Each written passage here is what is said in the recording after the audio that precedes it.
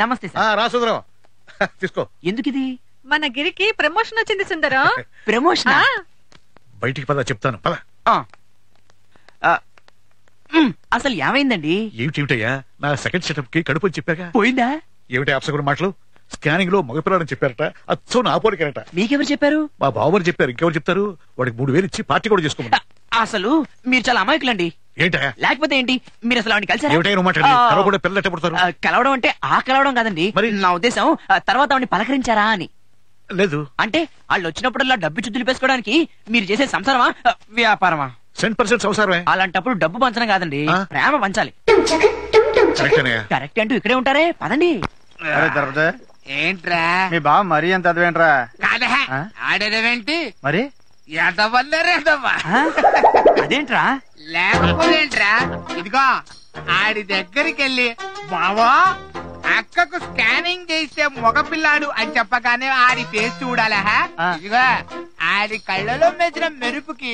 ఒక టవర్ ఎడితే టోటల్ మన ఊరి మొత్తానికి ఓ సంవత్సరం పాటు ఫ్రీ కరెంట్ సప్లై చేయొచ్చు. ఏంటన్నా నువ్వు వాడికి అబద్ధం చెప్పావా మాకు అబద్ధం చెప్తున్నావా? కడుపు చూస్తే నిజంగా కడుపులాగే ఉంది. అయ్యో మందు. ఏంటమ్మా మందైపోయిందా ఇదిగో తీసుకో అది వేసుకో. నేను వెళ్ళి బ్యాలెన్స్ ఎట్టుకొచ్చేస్తా. అరే సాంబా. మా గిరిబావ లాంటి ఎదలు నలుగురు ఉంటే. మన లైఫ్ హ్యాపీగా సెటిల్ అయిపోతుంది అయిపోతాయి. బావా నువ్వా? అసలేంట్రా ఇది? ఈ రూమ్ ఏంటి? మీరు చేస్తున్న పని ఏంటి? మీ పిచ్చి గాని ఇదేమన్నా సంసారంలో ఉండే కొంపలో ఉందా సార్? అసలు వాడు ఆ బండోడేడి వాడు మందు కోసం వెళ్ళాడు. ఆ? మందుల కోసం వెళ్ళాడు బావా. అంటే వాడిని మందు కోసం పంపించి మీరు మందు కొడుతారన్నమాట చిచే ఆ. ఇది మాది కాదు. అక్కది. ఆ, అక్కదా? సార్ సార్ నమ్మకండి. మీరు. ఏంటి? మీ అక్క కూడా తాగేస్తుందా? ఏం చెప్పమంటావు బావా? ఆ, రోజు నువ్వు వస్తావని మందు ముందేసి కూర్చోవటం నువ్వు రావట్లేదని బెంగతో అది నోట్లో. అయ్యయ్యో. అదేంటి లప్ప ఆ, అంటే ఏముంది ఏముంది? మీ బావగారు మిగిల్చిన తీపి గుర్తు ఇదేరా అంటూ తాగేస్తుంది మిగిలితే తలో గుక్క పోస్తుంది. ఏరా? ఆ, అవును బావా. ఆ. పెగ్గు మీద పెగ్గు తను పెగ్గు కడుపులో పెట్టు ఆ. పెగ్గు. ఏంటి వాడు కూడా తాగేస్తారా ఆ, ఆ, ఆడెవరి కొడుకు బావా? అది కాదు సార్. ఏ, నువ్వు ఉండవా? అబ్బా అక్కని రమ్మనండి. అవును రామను బావ వచ్చాడేంటి ఆ, అదిగో వచ్చేస్తుంది. ఎక్కడ? అక్కడ. ఇక్కడ సార్. ఎడిడు? ఏదో ఇప్పుడే రావాలా? ఎక్కింది మొత్తం దిగిపోయింది. వెళ్ళిపోయిందా? నన్ను చూస్తే ప్రేమతో మీద పడాలి కానీ పారిపోవటం ఏంటి? పైగా కడుపుతో ఉన్న మనిషి. కనకం! ఆ. కనకం! ఆ, అబ్బో చూసేస్తానేమో. అరే ఈయన ఎక్కడ గట్టిగా పట్టుకో వచ్చేది సంగతి చెప్తా. కనకం! బావా అక్క! ఎరా వేలకు వేల డబ్బు ఇస్తుంటే మీరు చేస్తున్న పని ఇదే? అది కాదు బావా అక్క. నోర్మై! కడుపుతో ఉన్న మనిషితో బరువులు పోయిస్తారా మీరు? అమ్మా. అబ్బా గిరి ఎంత పని చేసావురో? అమ్మా. ఆ, న- న- న- పని మనిషిని పెడదామంటే నాలుగు వందలు అడుగుతుంది బావా. నేనిస్తారా? రేపు పొద్దున పని మనిషి పనిలో రాకపోతే. ఒక చీరేస్తారు అలాగే బా. బావా. అలాగే. కనకం వచ్చేస్తున్నా కనకం. వస్తున్నా. కనకం. నేనేం తెలుసు కనకం. కనకం. కనకం. కనకం నిన్నేమైనా హత్య చేశారా? కడుపు కూడా చేశారు. మర్చిపోయారా? ఎలా మర్చిపోగలను కనకం? అందుకే వచ్చాను. ఇక్కడే ఉండిపోతారా? ఉండాలని ఉంది. కానీ ఎలా వీలవుతుంది?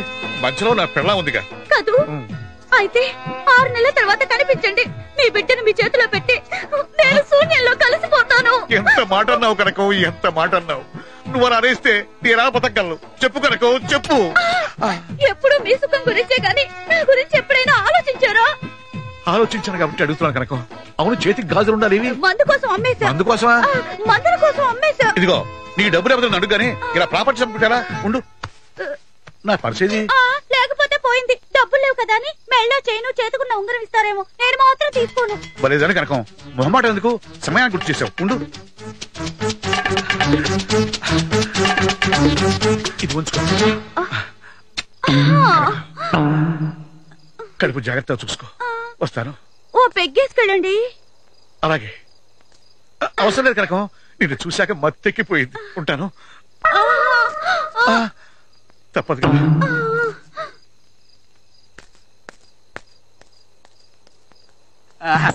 సొమ్మ కడిది కనకం, కడిది.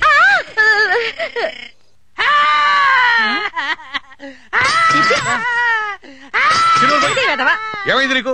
ఏవాడు పెట్టండి. నా జీవితం అంధకారం అయిపోయింది. ఈ పిల్లలు ఎవరితోనో లేచిపోయింది. వీడి పెళ్ళం లేచిపోతే నువ్వెందుకు ఆడడం మా బాస్ అయి కూడా అలా మాట్లాడతారేంటండి? ఈడెవరండి? ఈడెవడు? నా స్నేహితుడు. ఇది కష్టం నా కష్టం కాదా? ఈ పెళ్ళం నా పెళ్ళం కాదా? తప్పుడు కూతురు కూర్చోబట్టే చెప్పు తీసి కొడతాను ఒరే అన్నారావు కావాలి. అసలు నీ పెళ్ళం ఎందుకు లేచిపోయిందిరా? ఏం చెప్పంటారండి నాకు ఏడవడానికి అవకాశం ఇస్తే కదా. ప్రతి ఏదవ నా పొలం గురించి చేసేవాడే అదేదో ఇప్పుడు ఆడో రాదు ఏం లేదండి. ఒక మాట అయినా చెప్పకుండా వెళ్ళిపోయిందండి. ఈ ఆడలంతా ఇస్తేనండి టైం చూసి ట్రబుల్ ఇచ్చేస్తారు. ఇదిగో బాధల్లో కొడుతున్నావు. ఆడదాని గురించి మాట్లాడావంటే చీరతో చంపేస్తాను. పెళ్ళాన్ని చూసుకోవడం చేతకాని వాడివి. చేసుకోవడం దేనికి? ఏదవా అయినా అందరూ నాలాగా ఉంటారా? ఏమిటి? నాకు టెన్షన్ పెరిగిపోతుంది. పోల్చుకోక పోల్చుకోక నీతోనే పోల్చుకోవాలా తల్లి? నోర్మల్ అని అది కాదు గిరి. రెస్పెక్ట్ రెస్పెక్ట్ ఏమిటి బోడి రెస్పెక్ట్ నేనే నీ స్టాఫ్ని కాదు క్లాస్మేట్ని. ఎన్నిసార్లు చెప్తావు? అయినా ఈ విధవ సాయంకాలం అయితే ఏ కళ్ళు పాకలోనో చీట్ల పేకతోనో తెల్లారుస్తాడు. ఆ పిల్ల మాత్రం ఏం చేస్తుంది పాపం? ఏమంటావు సుందరం? అవ్వా నాకు టెన్షన్ తెప్పించడం కాకపోతే అతను అడుగుతారేమిటి? పాపం మొన్ననేగా కొత్తగా పెళ్ళయింది. ఉమ్, తెలుసుకుంటే మంచిదని. అయినా ఆడేమిటి ఈడేమిటి? కొంతమంది లేచిపోతారు కొంతమంది కామ్గా ఏ పూలవాడితోనో పాలవాడితోనో అడ్జస్ట్ అయిపోతారు. కట్టుకున్న మొగుడు వీధి గుమ్మంలో ఉంటే పెరట్లో ఎన్ని పాపిష్టి పనులు జరిగినా బయటపడవు మరి. అమ్మో బ్రహ్మాండం. అమ్మగారు వస్తానండి. అలాగే. ఆగు. నువ్వేంటి ఇప్పుడు వచ్చావు? తమరు ఉండగా వస్తే కుదరదని. ఆ? ఆ? ఆ. కట్టుకున్న మొగుడు వీధి గుమ్మంలో ఉంటే పెరట్లో ఎన్ని పాపిష్టి పనులు జరిగినా బయటపడవు మరి.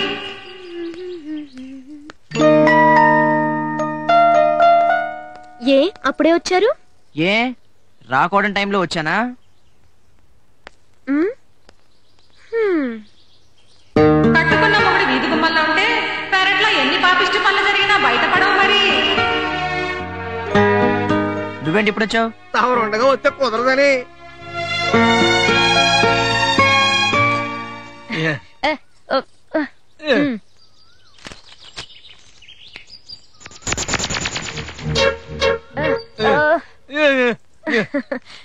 మీ ఆవిడ బాగుందా?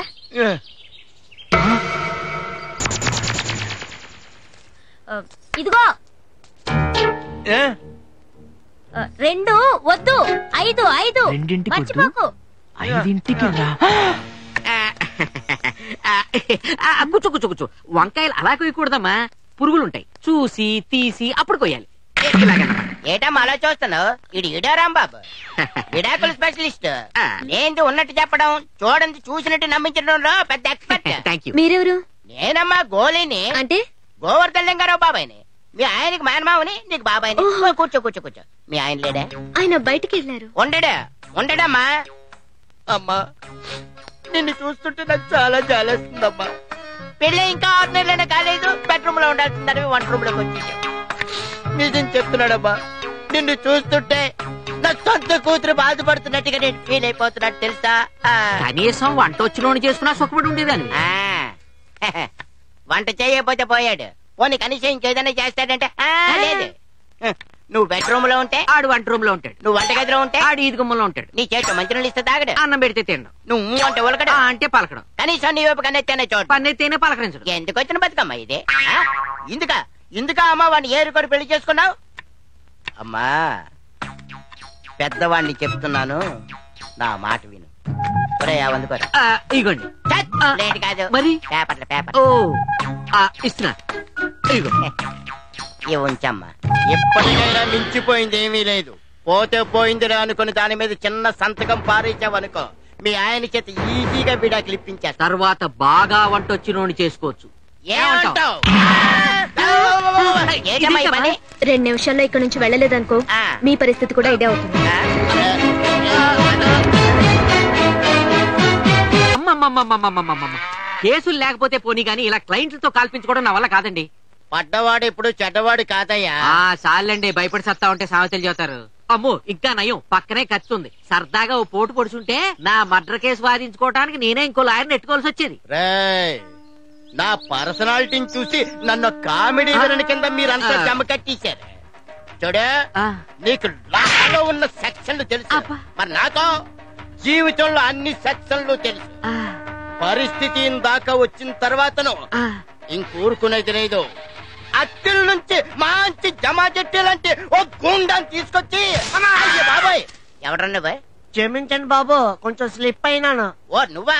ఎప్పుడు నన్ను బెదిరించేవాడివి? ఇవాళ నా కాళ్ళ మీద పడ్డావేటి? ఇంతకీ ఎవడ్రా నువ్వు? నా దత్తులేండి. నాను గోండానే? ఎక్కడా?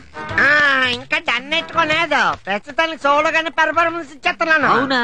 హహ, ఇదిగా. ఎప్పుడు ఏదో అదో పని చేసి కంగారు అడిపోతుంటావు కదా. ఎందుకైనా మంచిదని ఫాలో అయినాను. నువ్వు అరిచినావు. ನಾನು కాళ్ళు అట్టుకున్నాను సరిగ్గా కరెక్ట్ టైంకి వచ్చేవరా? హహ, మనం ఎప్పుడు అంతే. Don't touch me. ఇప్పుడు చెప్పు. కన్నా కాల? మడ్రా మానభంగమా? ఎనీథింగ్ గాడి అదేం కాదురా అబ్బాయి. ఆ. కిడ్నాప్ చేయాలా? అది. సీఎం నా పిఎం నా? కాదు మా అల్లుడిని ఏంటి ఆడా? ఆ. అదంత పనే. అడ్వాన్స్ కొట్టించా? నెట్టుకుంటావా కత్తి కొనుక్కుంటాను. ఇదిగో అడ్వాన్స్.